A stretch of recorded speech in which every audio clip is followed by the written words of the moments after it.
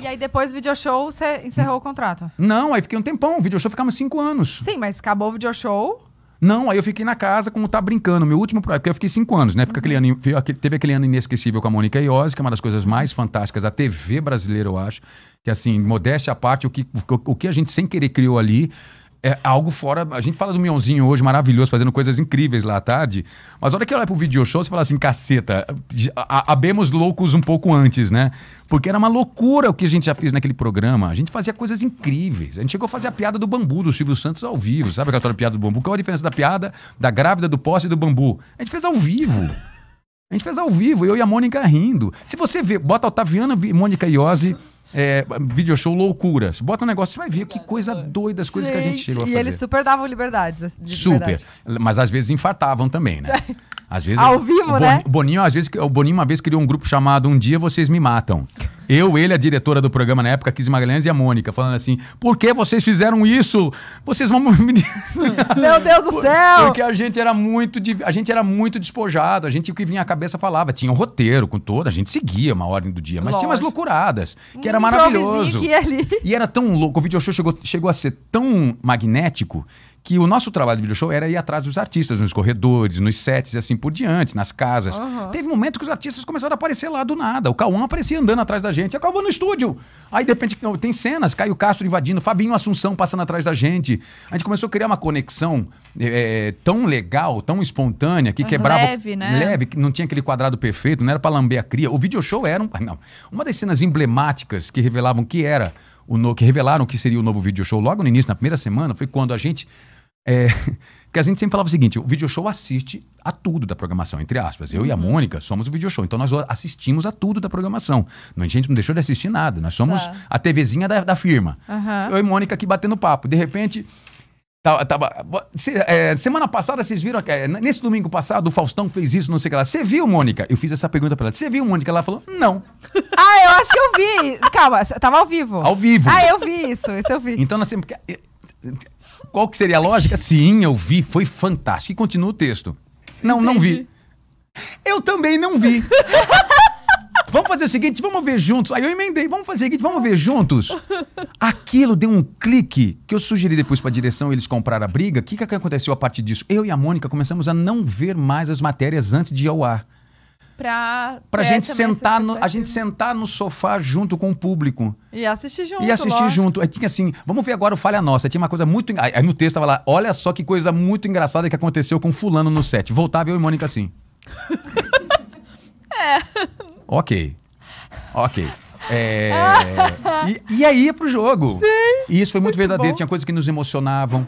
Teve um dia que foi fantástico, um dia emocionante que foi assim, que a Mônica sempre é brincalhona, eu também, né? É, Só que ela era mais bonachona ainda. Aí teve um dia que eu olhei pra câmera, eu tava assim, porque eu tinha uma mania de conversar com o pessoal de casa, né? E eu vi, aí eu começamos, eu virei, tudo bem com a senhora? Como é que vai, dona Maria? Eu falei, como, como, é, como é que vai a senhora? Tudo bem? E dava intervalo para as respostas. Como é que vai a senhora? Tudo bem? Legal. Tá tudo bem em casa? Tá gostando do programa? Mônica olhando pra mim. Você tá louco, Otto? Estamos ao vivo. Falei, eu tô conversando com o pessoal de casa, deixa eu conversar com ele. Mas você tá esperando que resposta? Eles não conseguem responder. Respondem sim, Mônica. Então, como é que estão as coisas? A saúde? Foi no médico? Tá, beleza, Mônica, você é louco, brincamos, passamos o programa, beleza.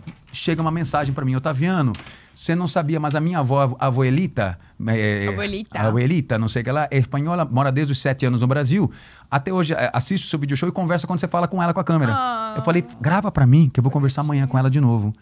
Aí ela responde pra mim, você grava ela conversando comigo? Gravo, não falei pra Mônica, quieto. Olá, como é que vai, dona Manuelita? Dona Manuelita, dona Manuelita, tudo bem? Que prazer falar com a senhora. Tá melhor com a sua perna? Que ela tinha quebrado a perna, ela tava assistindo com a perna. Como é que tá a perna? Ela assim pra mim, Mônica olhando pra mim, o que tá acontecendo, cara? De Você tá louca? Amanhã eu te mostro.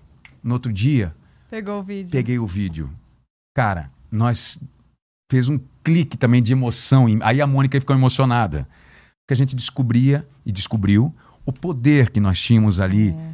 de comunicação. Mas quanta gente tá do outro lado, né? sozinhos, na sala, com pernas quebradas, com tristezas, com problemas de Aham. saúde, com, enfim, uma infinidade de, de situações pessoais, sociais, econômicas, psicológicas, que nós éramos os parceirinhos da tarde dessas pessoas. Com certeza. Quando nós mostramos o vídeo, ela respondendo para mim: Sim, estou bueno.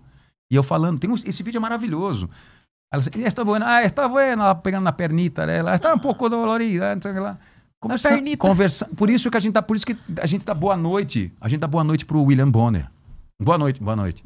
É inconsciente. É verdade. Se você é der uma boa noite, é isso. A- a- esse é o poder da comunicação e de nós comunicadores. Total. De total. conversar com as pessoas, conectar, conexão. Por que acabou o video show, gente? Video show chegou no momento em que ele. Também não tinha mais o que. Eu já estava num momento, Criar. eu já estava querendo uma, eu já estava numa outra, eu já estava cinco anos na apresentação. Caramba. Diariamente, é um esforço que não é fácil. Não. E eu gostava de sair um pouco mais do quadrado.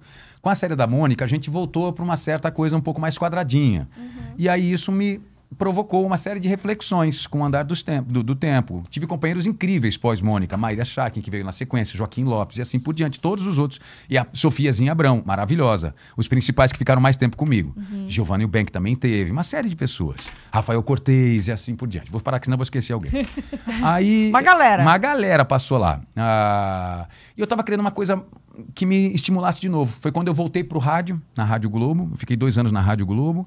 E o video show começou a ser um local em que eu, pre- eu tava inquieto, querendo transformação. Comecei a provocar a casa para ter meu próprio programa, o Tá Brincando. Quando surgiu o Tá Brincando, eu fiz meu programa. E aí caiu uma ficha gigantesca. Eu falei assim: não é isso que eu quero, eu quero mais.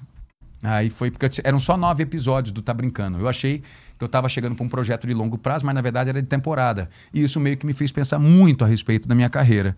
Foi quando o Will Smith, o senhor Will Smith, que tanto me entristeceu nos últimos tempos aí, enfim, na- por tudo, pelas circunstâncias todas que envolveram aquele, aquela situação, me inspirou. Ah, que ele deu uma virada na carreira dele gigantesca, ele criou um canal no YouTube, e eu falei, puta, se um cara dessa magnitude fez isso, é um puta de uma celebridade, uma puta de uma personalidade que já fez de tudo, tá fazendo essa transformação digital, por que, que eu não vou fazer a minha? Foi quando até a Globo estava num processo de transformação corporativa que era somos uma só Globo.